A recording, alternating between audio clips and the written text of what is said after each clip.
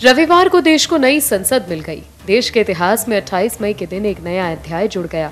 रविवार को प्रधानमंत्री ने देश को नई संसद समर्पित करते हुए कहा कि देश की नई संसद देश की आकांक्षाओं को नई दिशा देगा। इस अमृत काल को नई दिशा देगा।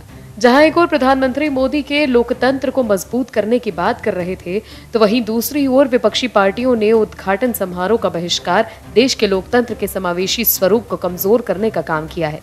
ऐसे में सवाल उठ रहा है कि क्या देश के विपक्षी पार्टियों को यह डर था कि बीजेपी और पीएम मोदी को इसका फ़ायदा 2024 के लोकसभा चुनावों में मिलेगा? आखिर कैसे बताते हैं आपको? नए संसद भवन के उद्घाटन समारोह के ज़रिए पीएम मोदी ने महाराष्ट्र और तमिलनाडु के लिए एक बड़ा सियासी पिच तैयार कर दिया। समारोह में तमिलनाडु के मठों से अधिनम शामिल हुए। वैदिक मंत्रोच्चार के ज़रिए तमिल के विरासत सेंगोल की अध्यक्ष की कुर्सी के बगल में स्थापना की गई।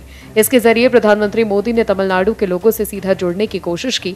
इसके साथ ही अट्ठाईस मई को वीर सावरकर की जयंती भी है। वीर सावरकर से मराठी जनता जुड़ी हुई है। पिछले कुछ समय से कांग्रेस ने वीर सावरकर पर कई तरह के सवाल खड़े किए। कांग्रेस के साथ गठबंधन में शामिल शिवसेना उद्धव ठाकरे और एनसीपी को भी इसका विरोध करना पड़ा। अब पीएम मोदी ने वीर सावरकर की जयंती के दिन देश के नए संसद भवन का उद्घाटन कर महाराष्ट्र के लोगों के दिलों में भी जगह बनाने की कोशिश की। नया संसद भवन सेंट्रल विस्टा प्रोजेक्ट के तहत तैयार हुआ है। कम समय में देश के खूबसूरत संसद भवन बनकर तैयार हो गया।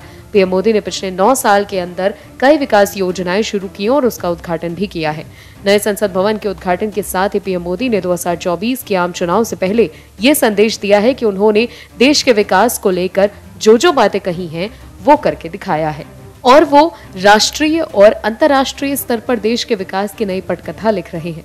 ऐसे में पीएम मोदी ने नए संसद भवन के उद्घाटन एक साथ कई निशाने साधे, जिसका फ़ायदा भगवा दल को आगामी चुनावों में मिल सकता है।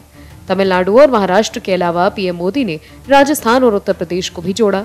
पीएम मोदी ने कहा कि लोकसभा का आंतरिक हिस्सा राष्ट्रीय पक्षी मोर, राष्ट्रीय पुष्प राज्यसभा का कमल और संसद के प्रांगण में राष्ट्रीय वृक्ष बरगद भी है। देश की आंतरिक विकास के साथ साथ पीएम मोदी के नेतृत्व में अंतर्राष्ट्रीय स्तर पर भारत का डंका बच रहा है ऐसे में विपक्ष की चिंता समझी जा सकती है कि देश हो या विदेश, हर जगह मोदी ही दिख रहे हैं और भी वीडियोस देखने के लिए चैनल को सब्सक्राइब करें और बेल आइकन को दबाएँ।